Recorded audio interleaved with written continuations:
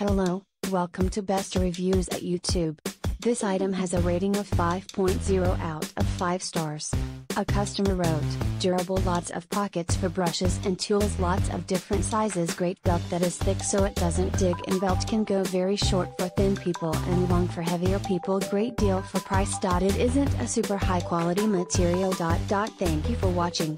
Please give the thumbs up.